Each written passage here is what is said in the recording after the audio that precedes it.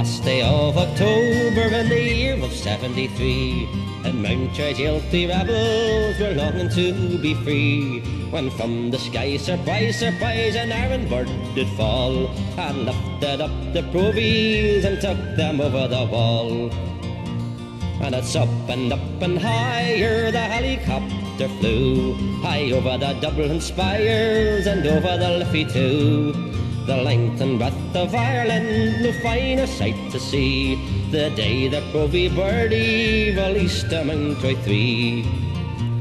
Now the screws were all astounded, they knew not what to do. They just stood there dumbfounded as off the rebels flew.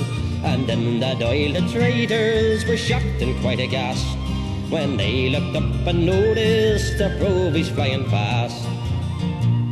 And it's up and up and higher the helicopter flew, high over the Dublin spires and over the Liffey too. The length and breadth of Ireland, no finer sight to see. The day that Provie Birdie released a Mountjoy three. Oh, Hagan to me, Mallon, God bless those gallant three. Cruel Britain, she is furious to see our rebels free. But everywhere in Ireland, whenever the news is heard, the people cheer the Provies and their marvellous flying bird.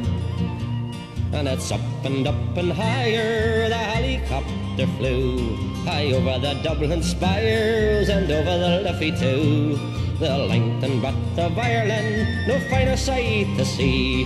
The day the Provie birdie released a Mountjoy three.